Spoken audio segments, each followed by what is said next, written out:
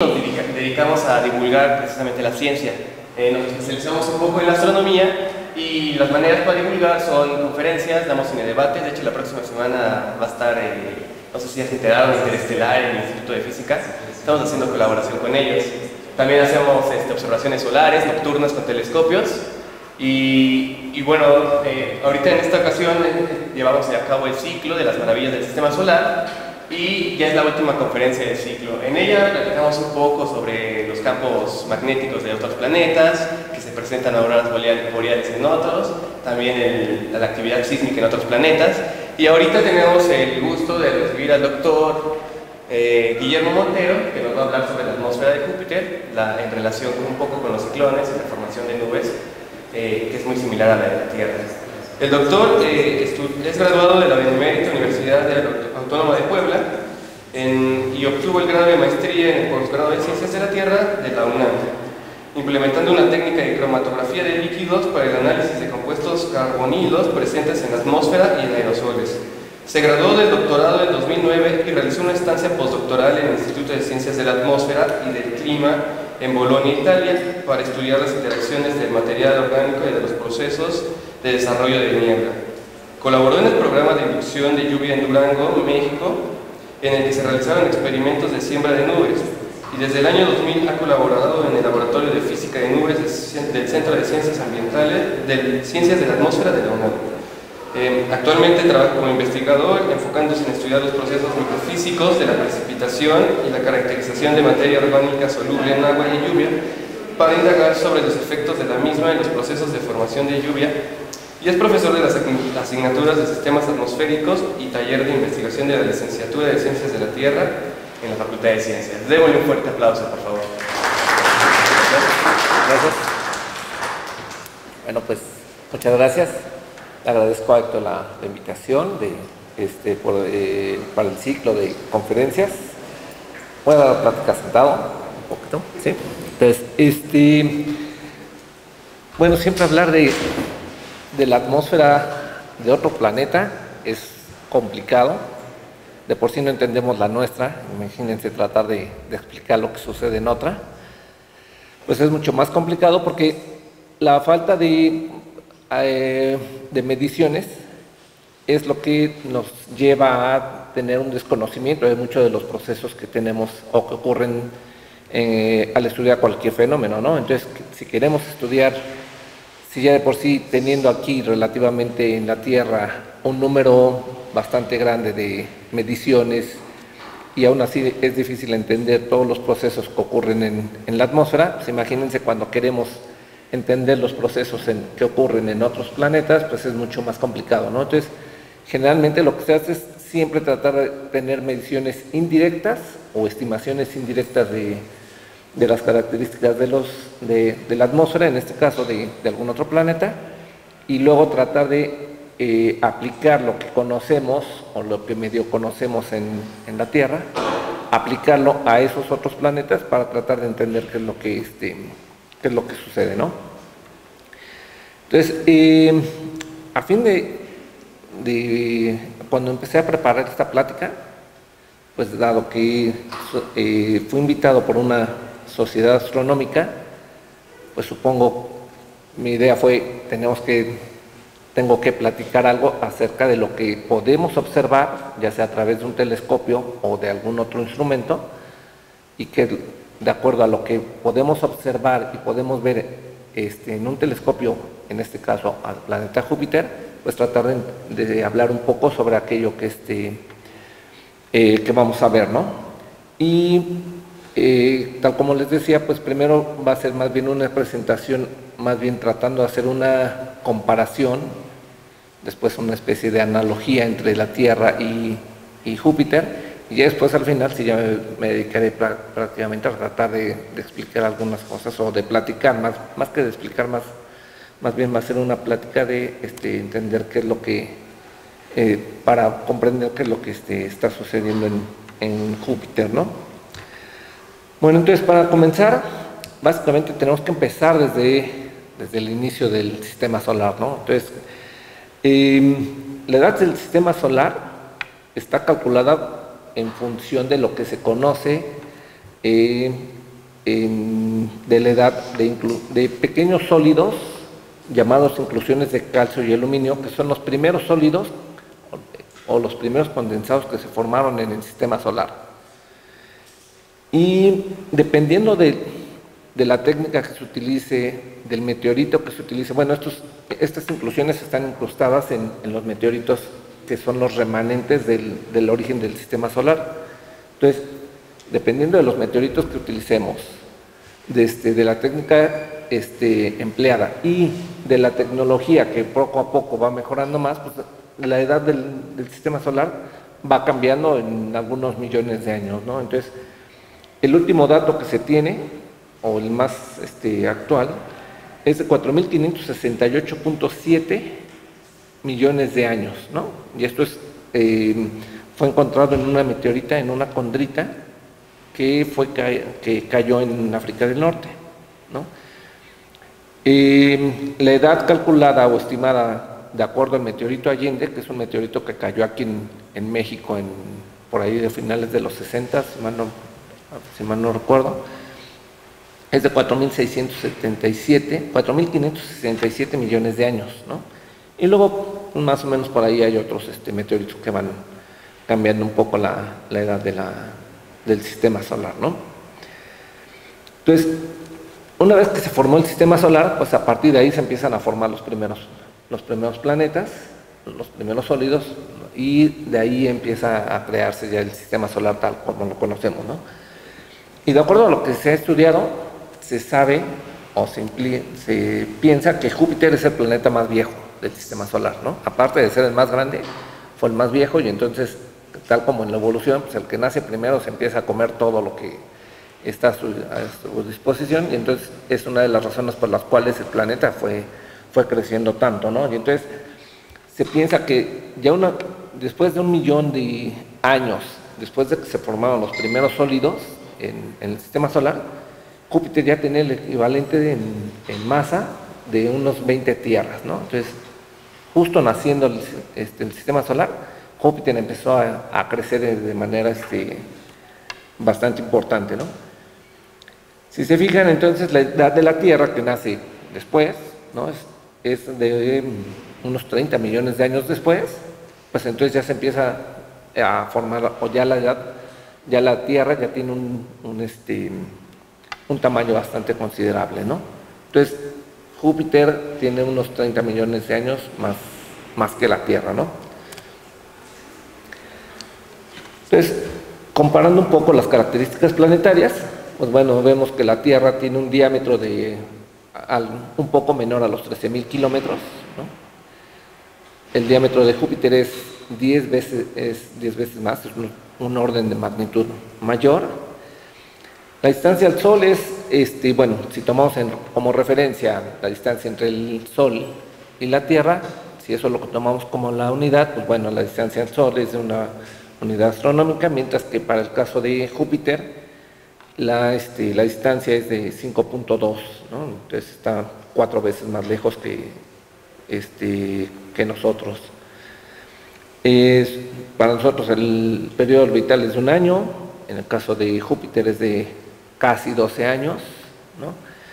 El periodo de rotación es de 24 horas, en el caso de la Tierra, y en el caso de Júpiter, al igual que los otros planetas este, que llamamos gaseosos, este, es mucho más rápido, ¿no? Es dos veces más rápido, ¿no? Entonces, eso es importante para poder, a la hora de estudiar la dinámica atmosférica de un planeta, pues el saber la velocidad con la que rota, eso tiene importantes implicaciones en el sentido de qué procesos, principalmente eh, el efecto de Coriolis, va a ser importante para definir cómo va a rotar su, atmósfera también. ¿no?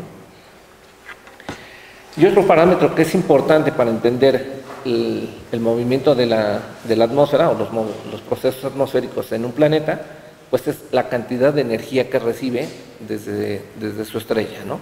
Entonces, para el caso de del planeta este, Tierra, recibe alrededor de 1370 watts por metro cuadrado de manera, de manera promedio. Y en el caso de Júpiter, solamente recibe el 4% de esta unidad este, o de esta cantidad de, energía este, en comparación a la, a la, Tierra, ¿no? Entonces la cantidad que recibe de, desde la, del Sol, la cantidad energética que recibe el Sol es mucho menor a la que, a la que recibe la Tierra, ¿no?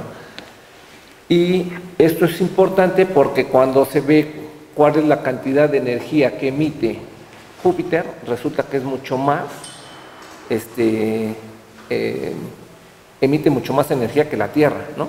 Entonces, algo debe de estar pasando en el, en el interior del, del planeta que está emitiendo o está permitiendo que el planeta emita más energía, ¿no? Entonces, eso también es importante porque entonces este, los procesos que ocurren en, el interior de Júpiter se deben más que nada a, a la energía que, está, que se está produciendo en, este, en el planeta, ¿no? El interior de su planeta, ¿no? Y bueno, para entrar un poco en materia del, del, este, de la presentación, sabemos que la Tierra este, tiene una composición principalmente de nitrógeno, nitrógeno atómico, este, molecular, del 77%, tenemos oxígeno, que es el gas que respiramos principalmente, este, tenemos algo de argón y tenemos vapor de agua, que en este caso el vapor de agua es importante porque es lo que nos forma a nosotros las nubes, ¿no? es lo que vemos nosotros este, eh, como nubes en, en, el planeta Tierra. ¿no? Y este contenido de vapor de agua es muy variable, dependiendo de, de las zonas en donde se encuentre uno. Si se encuentra uno sobre los océanos, pues hay mucho más vapor de agua que si se va a una región eh, desértica, pues el contenido de vapor de agua ahí es realmente mínimo. ¿no? En el caso de Júpiter, el gas predominante es hidrógeno y luego viene el helio. ¿no? Y después vienen algunos gases traza, así como aquí tenemos el metano y el ah, vapor de agua y el argón. En Júpiter los gases traza son metano, al igual también existe vapor de agua, tiene amoníaco, etano, sulfuro de hidrógeno y algunos otros ¿no? este, metidos. Entonces, cuando hablamos de la atmósfera de, Júpiter, o cuando hablamos de los planetas tales como Júpiter, Saturno, Urano, siempre pensamos en los planetas gaseosos, ¿no? en los gigantes gaseosos. Y en realidad a veces perdemos la, perspectiva de que en realidad el planeta o lo que estamos viendo no es una bola de, de, de gas acumulado. ¿no? Generalmente los gases no los vamos a ver. ¿no? Aquí ten, estamos rodeados de gas y no lo vemos. ¿no? Están tan separadas sus moléculas que simplemente no lo vemos. ¿Qué es lo que vemos entonces? Lo que vemos es ya alguna partícula en alguna otra fase. Puede ser sólida o líquida, y eso es lo que empezamos a notar que está flotando en el aire. ¿no? En el caso de, este, de, de, Saturno perdón, o, de, Júpiter, lo que vamos a estar viendo son partículas en otra fase que están rodeando el planeta dentro de su atmósfera que está principalmente conformada por hidrógeno y helio, ¿no? Si no, no veríamos, el, este, si no tuvieran una atmósfera, entonces veríamos directamente la superficie del planeta, ¿no? Que también no se tiene idea de cómo sería en el caso de Júpiter. Pero, por ejemplo, si Júpiter no tuviera una atmósfera, pues veríamos algo quizás similar a lo que vemos con, con Mercurio, ¿no? Que su atmósfera es muy tenue y logramos ver la superficie de, del planeta que está rodeada ahí de, o está toda golpeada por, por golpes de este, con otros cuerpos celestes. ¿no? En el caso de Júpiter no es así, lo que vemos es un montón de nubes. ¿no? Entonces, para poder eh, eh, entender un poquito acerca de la, eh, de la dinámica de, la, de lo que sucede en Júpiter, pues tenemos que primero entender un poco este, qué es lo que pasa aquí en la Tierra y de ahí lo movemos hacia, este, hacia el planeta Júpiter, ¿no? Entonces, ¿cómo se forman las nubes aquí en la Tierra? Para, poder para poder entender qué es una nube, pues primero tenemos que definirla. Y una nube es un agregado de partículas de agua, es decir, partículas que se encuentran en estado líquido o sólido, que se encuentran suspendidas en la, en la atmósfera. Entonces, y solamente hasta que el vapor de agua se condensa, y está en otra fase, entonces puede conformar una nube y eso es lo que nosotros vemos flotando en la, en la atmósfera de nuestro planeta como manchas blancas, ¿no? Por ahí. Y para formar una nube se requieren de dos cosas. Una es una condición termodinámica, es decir, necesitamos que exista eh, vapor de agua y que ese vapor de agua se concentre en cantidades suficientes en la atmósfera para poder conjuntarse y poder condensarse sobre algunas partículas y una vez que se empieza a condensar sobre esas partículas empieza a formar gotitas de agua, ¿no? Y esa es la segunda condición. Tiene que haber, al menos en la Tierra, tiene que haber la presencia de aerosoles, de otras partículas sólidas o líquidas, sobre las cuales el vapor de agua se va a empezar a acumular hasta que llegue el momento en que toda esa partícula se humedece y empieza a, este, formar una solución acuosa. Entonces, ya una vez que se forma esa, esa gotita, estas este, puede empezar a interaccionar con algunas otras para poder este, conjuntarse de tal forma que empieza a tenerse ciertas, este, eh, ciertas concentraciones que nosotros este, les llamamos eh, nubes. ¿no? Entonces, básicamente el ciclo ocurre de forma que este, en la atmósfera terrestre, si tenemos cantidades suficientes de vapor de agua, estas vienen este, o son generadas a partir de la evaporación de, este, de lagos y de ríos, ¿no? en este caso en nuestro planeta. ¿no?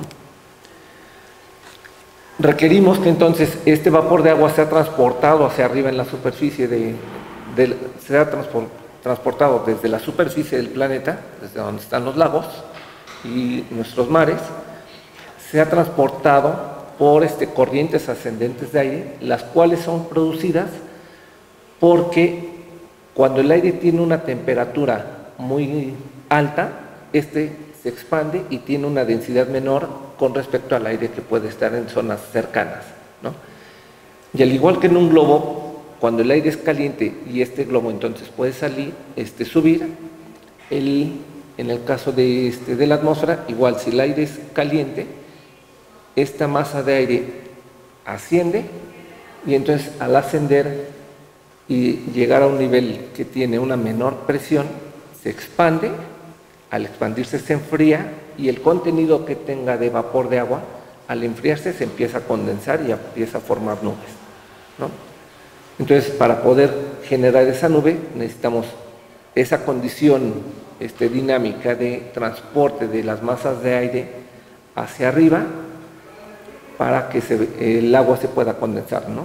¿Y qué es lo que genera que, se, que el aire se empiece a calentar en la superficie? Pues principalmente la energía del Sol, ¿no? En nuestro caso es la energía del Sol, que como vimos hace rato era bastante importante. En el caso de Júpiter no va a ser así, la energía que, recibe el Sol no es suficiente como para que ocurra este, el calentamiento de las masas de, su atmósfera en este, por, debido a la, a la, energía que tenga del Sol, ¿no? Entonces debe de haber otros procesos que ya platicaremos más, más tarde, ¿no? Entonces, a este movimiento ascendente de la atmósfera se le llama convección, ¿no? Y este es el, proceso que genera principalmente las nubes en, nuestro planeta, ¿no? La, convección. Entonces, como les decía, las gotitas se van a formar sobre estos aerosoles. Estos aerosoles tienen más o menos un tamaño entre 0.4 y 0.2 micrómetros un micrómetro, recuerden que es la millonésima parte de un metro. Y a estos aerosoles, a estos aerosoles que nos sirven para condensar las, este, las gotas de agua, reciben el nombre de núcleos de condensación de, de nube. ¿no? Entonces, si eso sucede más o menos aquí en la Tierra, es probable que algo similar ocurra en Júpiter para que se estén formando las nubes, las cuales son las que nosotros realmente vemos en, este, eh, cuando observamos el planeta este, a través de un telescopio. ¿no? Y entonces las nubes una vez formadas, en el caso de nuestro planeta, reflejan la luz visible y al reflejar la luz visible nosotros sabemos que la luz del sol es blanca, ¿no? o la definimos como una luz blanca y por eso las nubes generalmente las vemos blancas en nuestro, en nuestro caso. ¿no? A veces nosotros llegamos a notar ciertas coloraciones en las nubes, algunas veces las vemos grises y eso se debe a que la luz del sol al atravesar una nube, si esta nube es muy alta, pues le cuesta más trabajo poder atravesar esa, esa nube y entonces se va extinguiendo la luz del sol, de tal forma que a veces las vemos grises o incluso las vemos hasta negras, ¿no? Si la nube es muy alta, este, pasa muy poca luz del sol y entonces nosotros no es, no es que la nube sea gris, sino más bien empezamos a notar una ausencia de color, lo cual nosotros, eh, nuestros sentidos los perciben como una nube gris. Y si vemos una nube muy, muy gris, entonces decimos, ah, está muy cargada, ¿no? Es muy grande y la asociamos con lluvia, ¿no? Entonces, este, vean como ciertos colores de las nubes pueden darnos cierta información o cierta perspectiva de lo que está sucediendo en la, atmósfera. Entonces, si las nubes son este, muy altas, las vemos de ese color. Y otro fenómeno importante puede ser la electricidad atmosférica. Una vez que la nube ha crecido, ¿sí? o que se ha formado, en la parte superior de la atmósfera las temperaturas son mucho más bajas. Eso, significa que entonces algunas partículas de agua, si se encuentran a temperaturas muy bajas, estamos hablando de temperaturas de hasta menos 50 grados centígrados en la, en la troposfera, entonces esas gotitas se van a congelar, ¿no? Generalmente pensamos que las gotitas de agua o que el agua se congela a 0 grados. Imagínense si tenemos una partícula de agua líquida a menos 10 o a menos 20 grados, este, centígrados, podríamos pensar que algunas de esas gotitas se congelan y precisamente al congelarse, si interaccionan, si hay partículas de hielo que estén chocando entre ellas, esto es lo que empieza a generar una carga eléctrica dentro de las nubes.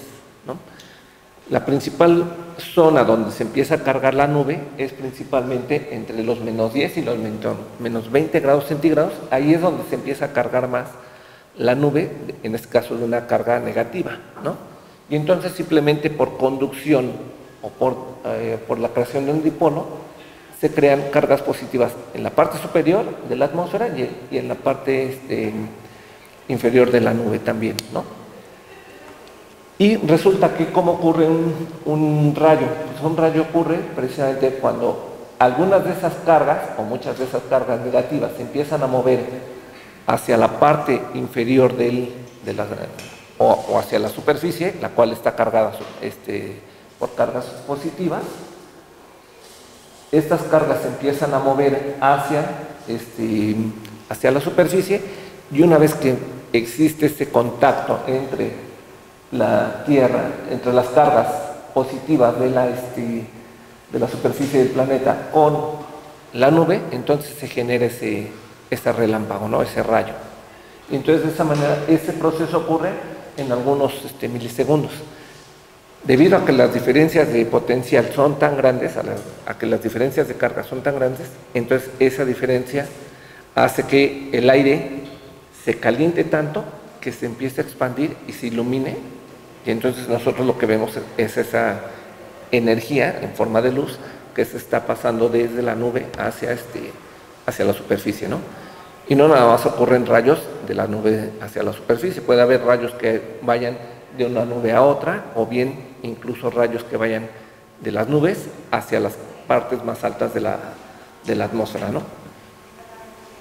Entonces, resulta ser que la, solamente en la Tierra, o al menos, al menos aquí en la Tierra, solamente los rayos ocurren cuando hay partículas de hielo dentro de las nubes. Si no hay este,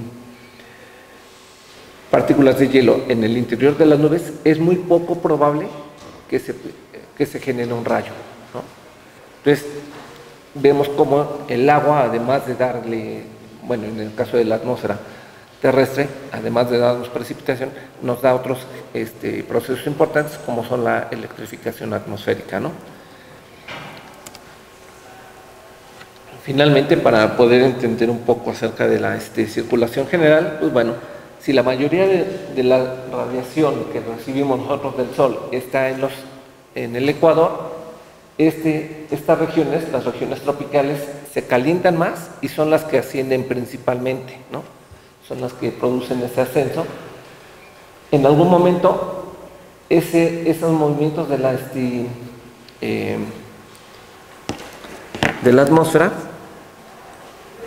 la, atmósfera se mueve hacia las regiones polares y después desciende esa masa de aire. ¿no?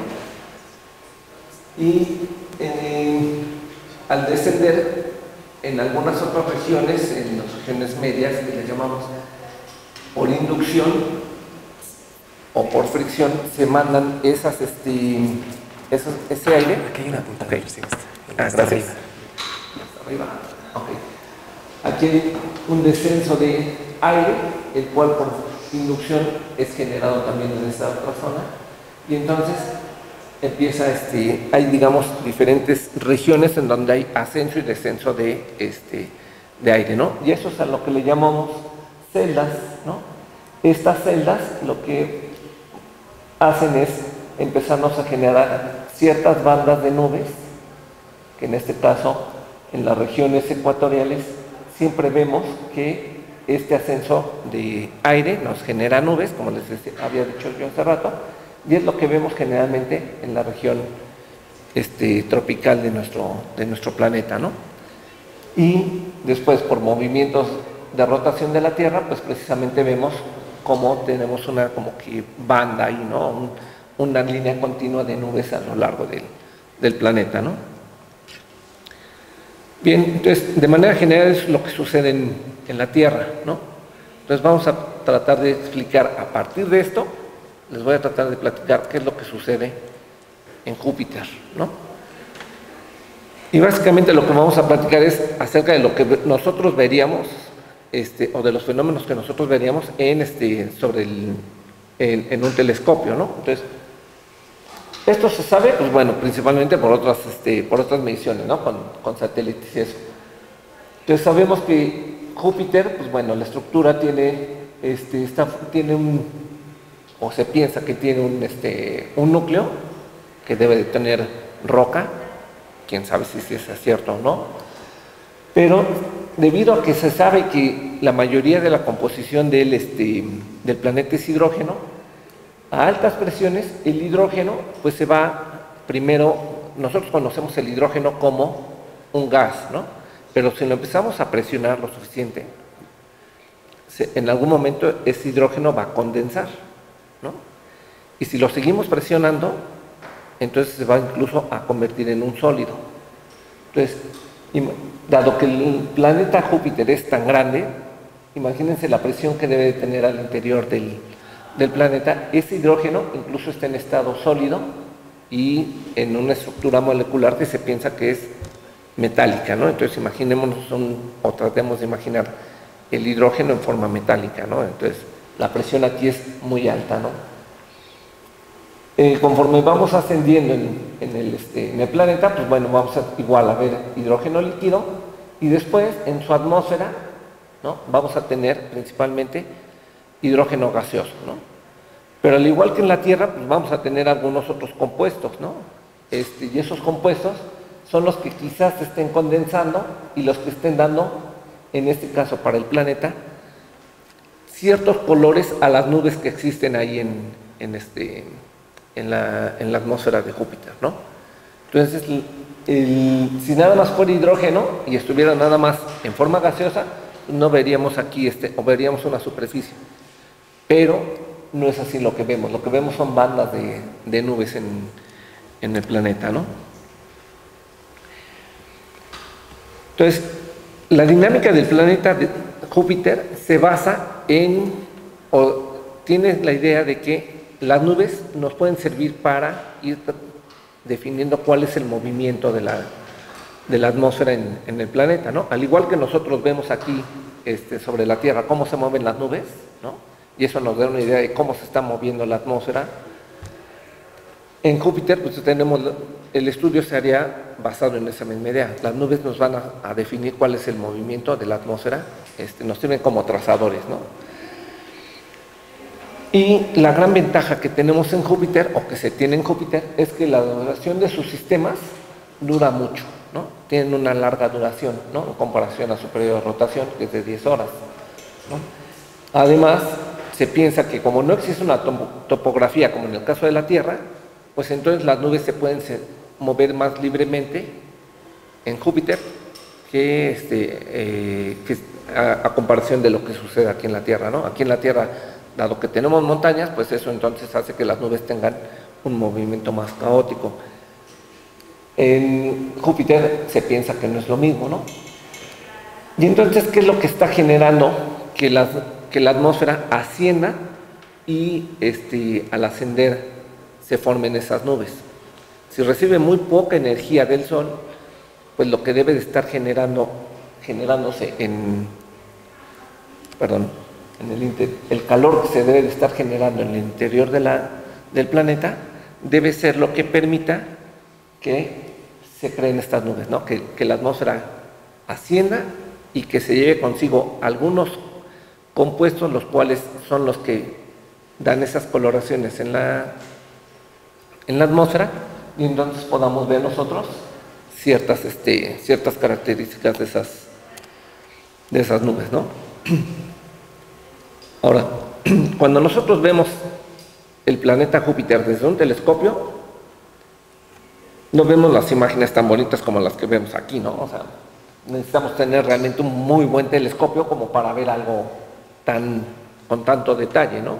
¿Y este punto que Ah, este punto de acá es lo que le llaman la, mancha roja lo que conocemos como la mancha roja, que es una tormenta que es casi tan grande como la Tierra, incluso es más grande que la Tierra, ¿no? y hablaré un poquito más adelante de ella. Entonces, este, en Júpiter, pues bueno, no, no vemos estas imágenes tan, tan bien definidas, ¿no? Pero si tenemos un telescopio más o menos pequeño, lo que sí podemos notar son estas dos bandas, ¿no? Bandas y zonas este, de, eh, o esas dos franjas de nubes, ¿no? Resulta que las bandas son las, son las que, este, las bandas, o bueno, estas regiones de nubes oscuras. Y las bandas son las regiones con nubes claras, ¿no? Entonces vemos una secuencia de, este, de zonas oscuras y, blancas este, a lo largo del, o en, en el planeta, ¿no? Con un telescopio generalmente vemos bien creo que esta, esta región, ¿no? Más o menos, con un telescopio más o menos pequeño, ¿no? Y lo que sí se ve también en, los telescopios es esta manchita roja, ¿no? Que es una tormenta que, este, que ha sido observada por lo menos desde hace 300 años que ya se tenían telescopios y que la vieron, ¿no? Entonces es un sistema que ha durado 300 años. Aquí un huracán generalmente dura del orden de una semana, ¿no? que son eventos que podríamos pensar que son similares. Imagínense la, cantidad de energía que necesita este, el planeta para poder tener una tormenta que dure 300 años, ¿no? Por lo menos.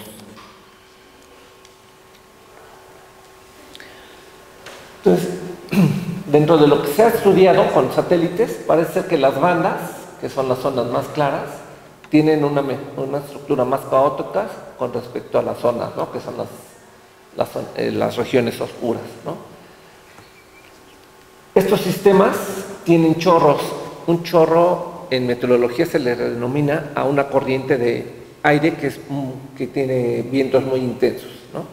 Entonces, entre, estos, entre estas regiones existen chorros, ¿no? o regiones de vientos muy intensos que son precisamente las que permiten la separación de estas, este, de estas regiones.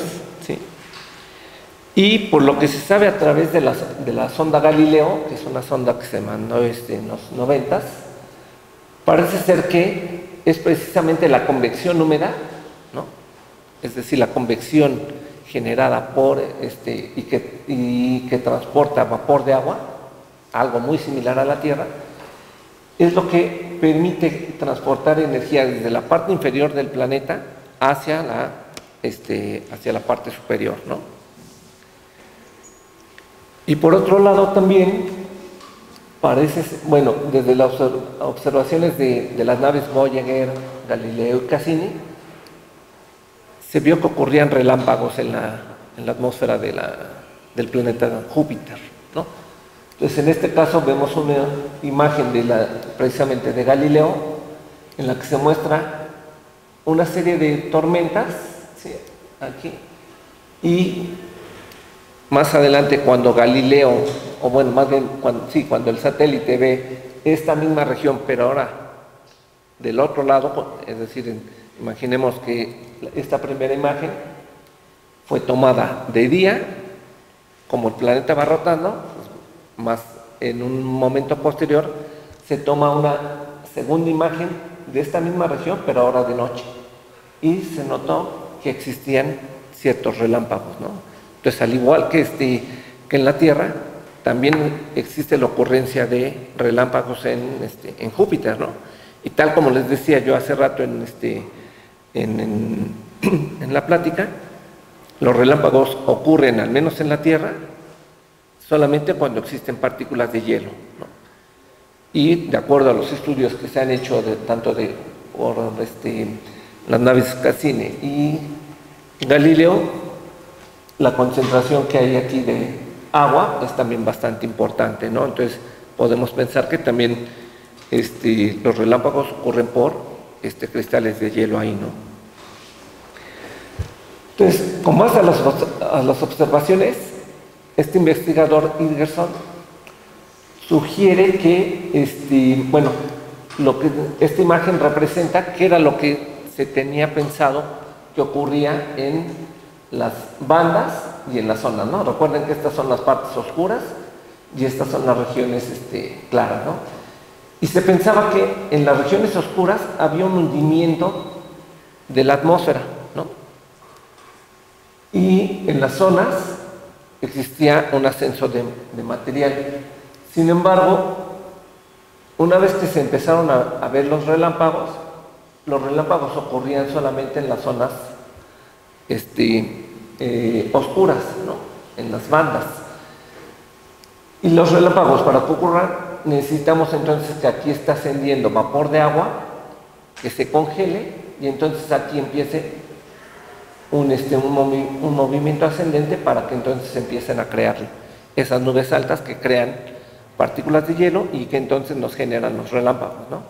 Entonces, si los relámpagos ocurren en esta región, pues es poco probable que entonces se ocurra aquí un, descenso de material, ¿no? Porque si hubiera un descenso de material, pues simplemente no, no crecería la nube y no, habría relámpagos. Entonces, en base a estas observaciones, Ingersoll sugiere que entonces el esquema debe estar al revés. Tiene que haber aquí un ascenso de material y un descenso de este eh, en las zonas, ¿no?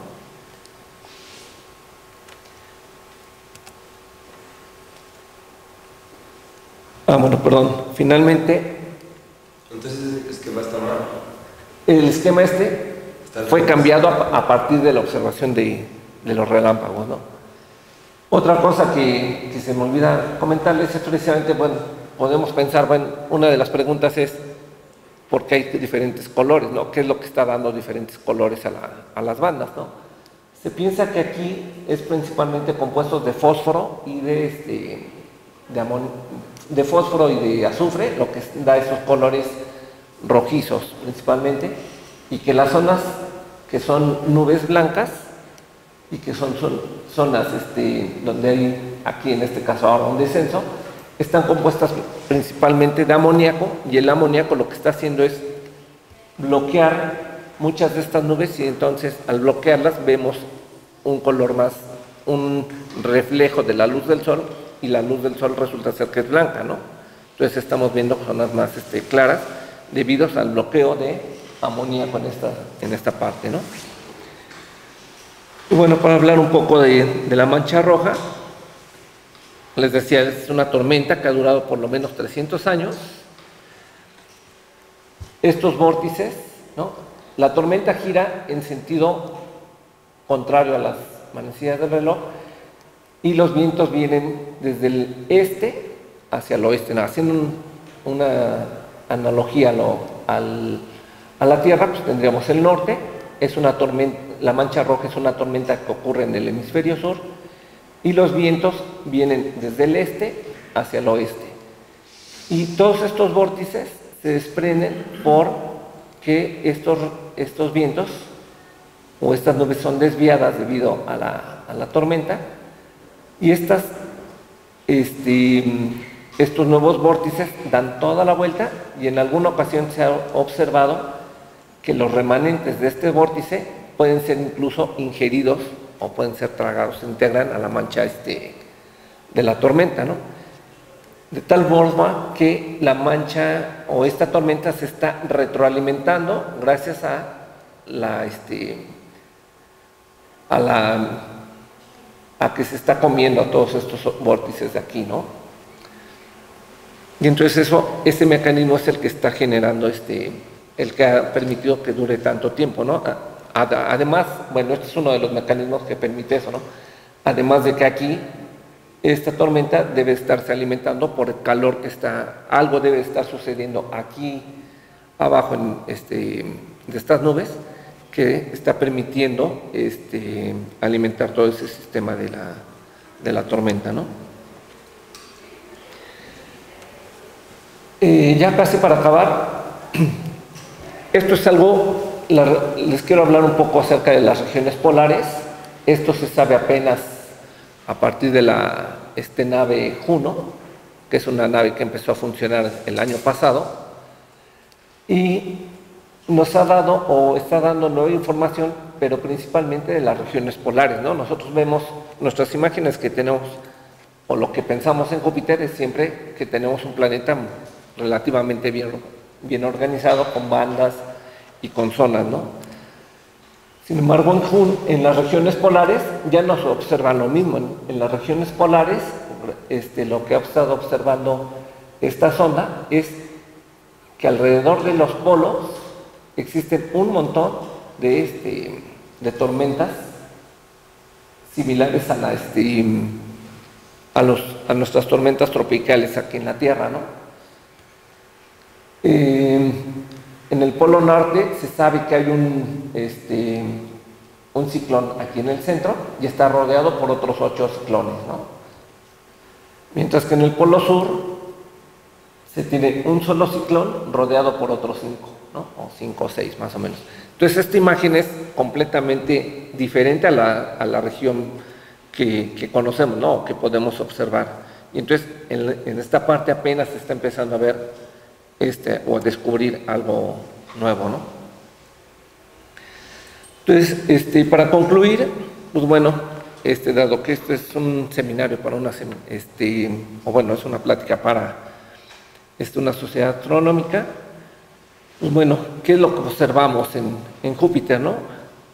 Júpiter es uno de los objetos más brillantes, solamente Venus y la, y la Luna son más brillantes que Júpiter ¿no? en, el cielo nocturno. Entonces, este, Júpiter, debido a su tamaño, es mucho, muy grande, eh, es muy brillante, incluso mucho más brillante que muchas estrellas. ¿no? Los mejores periodos de observación de este planeta ocurren cada 13 meses. ¿no? Este, como les comentaba, incluso con telescopios pequeños se pueden observar dos bandas, es decir, dos regiones oscuras rodeadas de sus correspondientes zonas. Entonces podemos ver dos zonas oscuras y dos zonas este, eh, muy claras. Los, mejores, este, los mejores periodos para observar Júpiter ocurren en algo que se le llama oposición, es decir, cuando el Sol, y este, imaginemos que están el Sol, la Tierra y Júpiter, entonces están en oposición cuando están en esta situación, se le llama oposición, ¿no? Porque podemos ver a Júpiter directamente, este, o está completamente sin, del otro lado del Sol, ¿no? Para nosotros sería del otro lado del Sol, ¿no?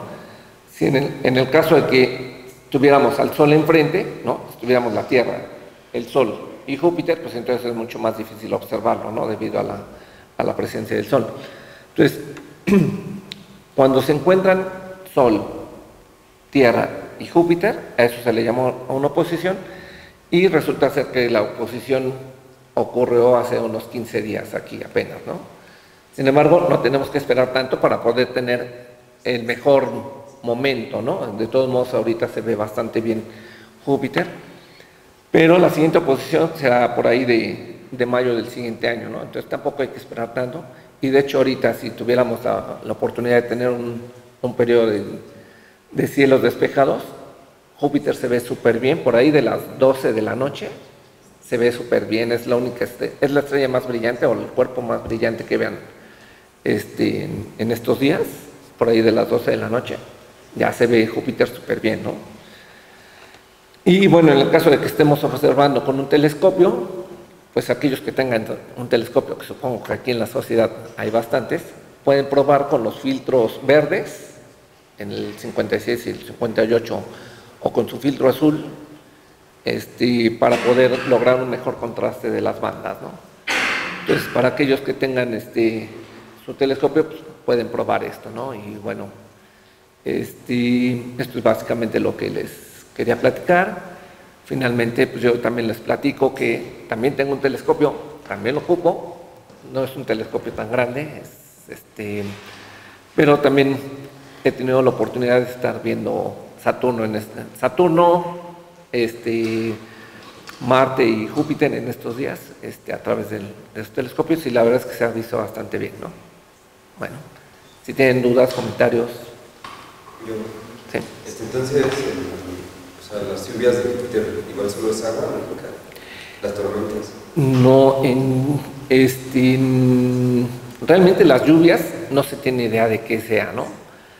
Este, pero si se supone que tenemos ahí, este, bueno, cristales de hielo, este, que tuviéramos cristales de amoníaco, pues podríamos pensar que en principio las lluvias que ocurrieran en, en, este, en, Júpiter, pues pudieran ser principalmente amoníaco y agua, ¿no? Aunque También hay masas de líquido grandes o es lo. La verdad es que si no, no tengo idea si se, si se tenga alguna información de eso o no.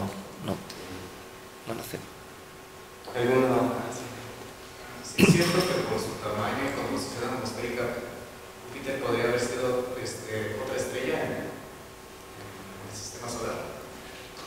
En principio, por la composición, pudiera pensarse que sí, ¿no? Pero tendría que haber sido, híjole, ahí sí no me acuerdo cuánto. Me parece que al menos unas 40 veces más. Sí. Para poder empezar a... Y entonces seríamos un sistema de dos.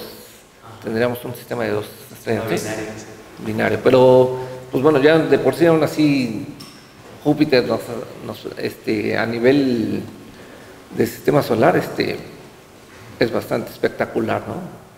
Entonces, sí. ¿Algún otro comentario, alguna duda? Respecto a la duda que tienes, este, pues sí sabes cómo funciona una estrella, ¿no? O sea, funciona a través de fusión nuclear, funciones nucleares, transforma el hidrógeno en helio y, bueno, este, libera energía en el proceso, ¿no?